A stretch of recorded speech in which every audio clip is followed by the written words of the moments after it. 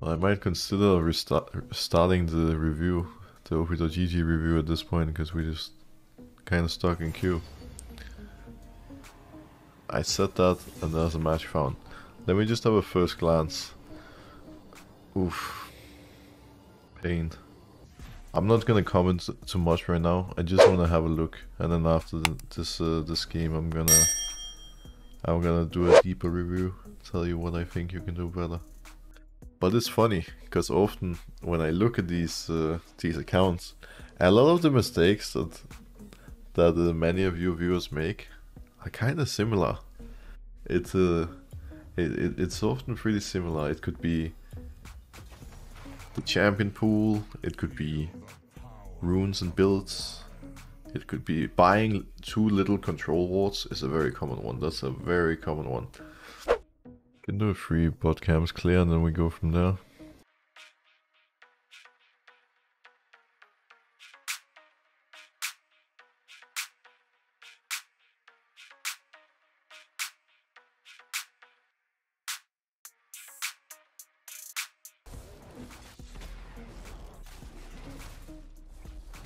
Ouch.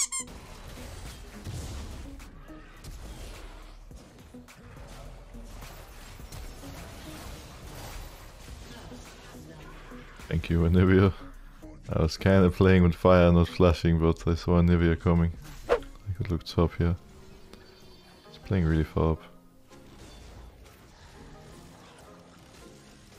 Oh, he missed the second bomb, unfortunately.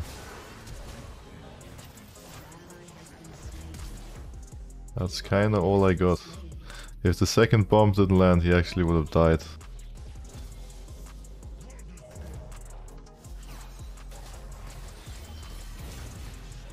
See if he flashes into it. he did, he flashed right into it. Moving down. Oh wow. Like this might be bad. They're playing so aggressive. Damn.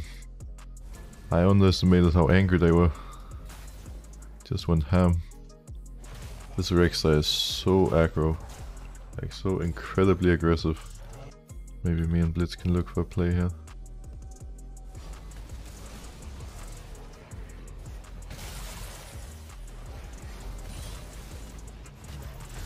I shouldn't have used my Q. I would have had it now to kill him. We should have him in a second anyways. Right? Right?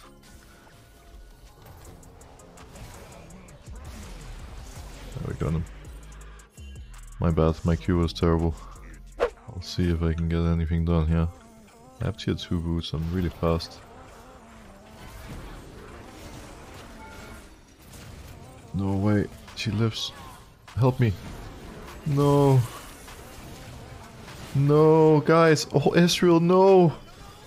Oh my god. This is so terrible. Can he kill it? Oh, I got a depression. Oh, I'm so sad. How did that go so wrong? Oh, gigantic throw, honestly. It's a gigantic throw.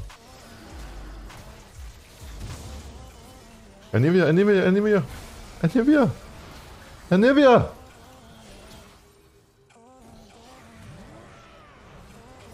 What are you doing, Anivia? Just kill the Rek'Sai. That's so much better. We are 10 times stronger mid jungle, I'll just play with Anivia. As a duo. And we can do work.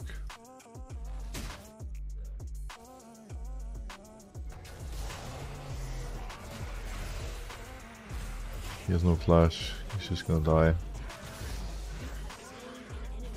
Bot lane is losing to a 2 now. Definitely will have to help them out.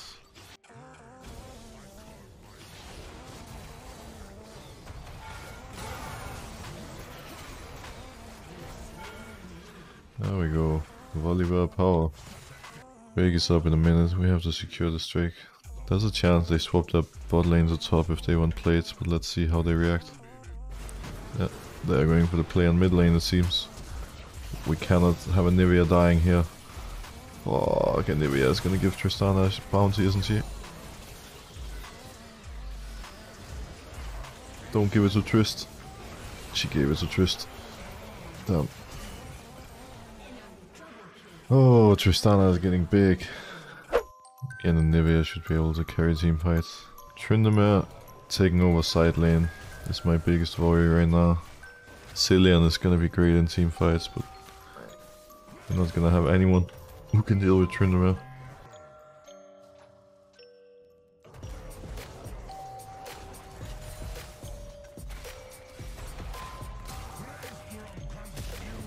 You are not getting away from me.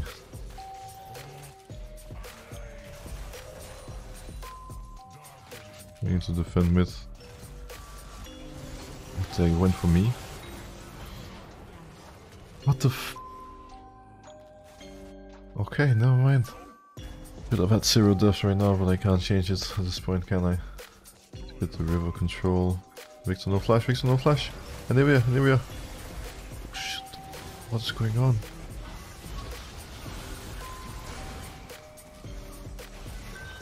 Guys, everyone's ending.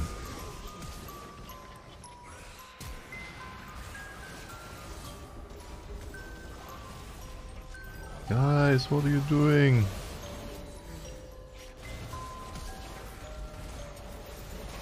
Wait, why did he hook him? If he didn't hook him, he would have died for nothing. We lost 5 before? Yeah, we did. There's too many Indus. Speaking of Indus.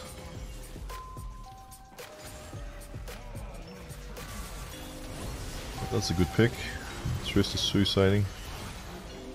This Trist is not playing very well. Not at all. They need Trist to play really clean to win this game. And she is very aggressive. Ultra aggressive Tristana gameplay. I think they're gonna need a reckless Tristana in this one. Someone who plays really clean and never dies in team fights. I don't want to finish before Rek'Sai's out. It's dead now. Now we can finish. We're losing a lot. We lost 3 turrets for Baron. As long as we can push down some turrets ourselves now, like let's say we get 3 or 4 turrets, then it's very worth it. Just need to make sure Tristana doesn't kill people. Oh, Janna. Speaking of Tristana killing people, people are dying to her. Boom, you see that damage? That's why I like Divine Sunderer on Volibear.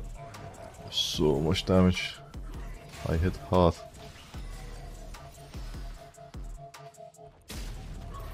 Convenient plant for me.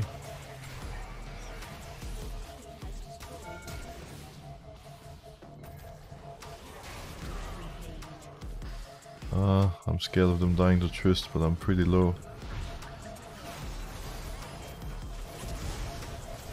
Kill it. I might die for it though.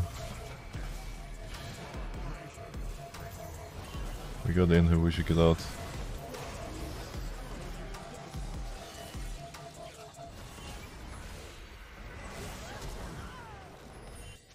Trist is gonna jump someone at some point, she's so aggressive. Like the second she sees a target, she's just gonna jump in.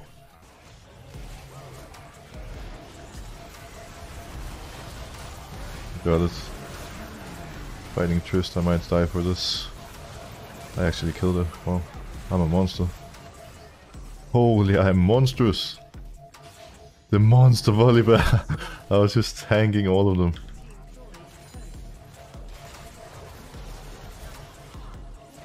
What are you doing? Look at her! You see what I mean? She's just jumping in without thinking.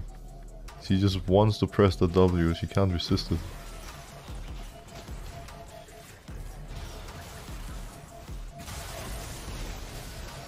Catch.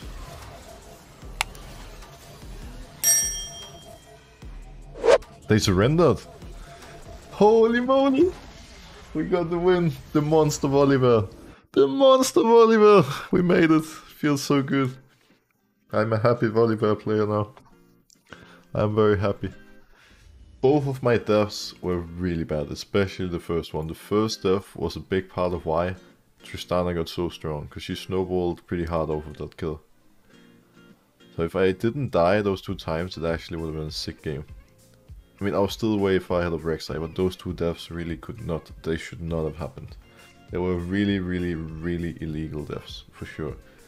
But now we spoke a bit about like the Chem Tank Volibear before. This is why I like Sunderer. It's just so much damage, you're still pretty hard to kill. And yeah, it's just great all around. You're not just a tank, you kill people. Alright, so we had an OP.GG review. Struxa, very interesting name by the way. The Sa at the end, I like it. I like it, I like it. Good job, good stuff. Great creativity. So, Silver 3, EU West. 8 wins, 20 losses, 29% win rate. Let's see what we can do to change that. Let's see if I can push you in the right direction. So the next time I see this, this is more like a 60%. That would be beautiful, wouldn't it? You haven't played that many games, so it's very possible. I fully believe. So, most played champs. Trundle, Lee Sin, Diana, and we have some random stuff like some Leona support and whatnot. Let's have a look at the Trundle, the Lee, and the Diana, because that's your most played. Well, first of all, um, I guess I can say that you're dying too much on Diana. It, it, this is too many deaths. 8 on average. Leona, same thing. Leon Trundle looks good. I mean, it is good, but we don't like seeing less than 2 KDA. That is not, not ideal. Um, let's have a look at Trundle first. Just like with the other person before, the control wards, there's a lot of inconsistency. There's you bought 9 as a support. I probably should have been higher considering it was a 36 minute support game, but this game you bought 8, 4. There's a game, some games where you bought 2 2 wards in 37 minutes. And these games playing Corki mid, you didn't even buy a single control ward. Whew. You basically don't buy control wards when you play mid lane, is what I can see here. That is not how it's done, my friend. That is not it. You bought one control ward this game, but the other three games you didn't buy a single one being mid lane. Get a habit regardless what role you play. It doesn't matter which of the five roles. When you are sitting on 25 gold and you're walking out of base, spend that gold on a controlled ward. Just buy one control ward every base. Trundle was your most played. What is your build? You go Sunderer into Titanic. I don't think the build is bad in that sense. I, I think your build is fine. I think going Lethal Tempo is also right on Trundle nowadays. You into W max. I think that's also okay.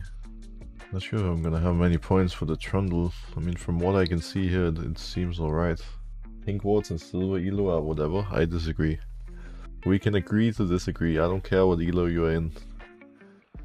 Get some consistency with your pink wards. The way you should look at it being a league player is that, let's say, let's say a hundred percent is like perfect gameplay, like doing everything flawless.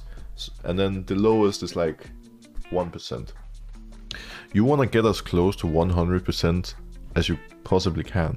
A way to increase with a couple of percentages is by, is by being consistent when it comes to control wards and vision in general. Vision is really important. Even if you're an iron, it can make a difference for you. If not for your teammates, then you know it can help you. Like you're gonna have more knowledge, you're gonna have more vision, and it's just good all around, good for everyone.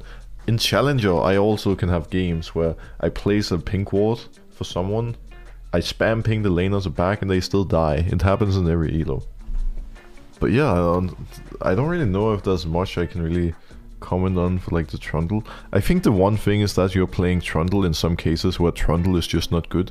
What you need to keep in mind is that Trundle is a champion that is good situationally. He's good when there's tanks on the enemy team. So this Trundle game, they have zero tanks. This Trundle game, they have Olaf. It's, it's alright. Jarvan and Jax, I don't really count it as a tank. You play Trundle in three games where they don't have a tank on the enemy team. Not ideal, not ideal. Um, so I think it's like Trundle is your most played champion. I can't blame you for liking Trundle, that's fair. He's just a type of champion that's not always going to be good. I think be mindful of who you ult in team fights.